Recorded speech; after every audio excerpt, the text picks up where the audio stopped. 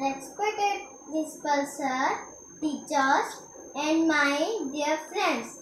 Happy Teachers Day to all. My name is Adimesh Patnaik, class 2. A great teacher takes a hand, opens a mind, and touches a heart. Thank you.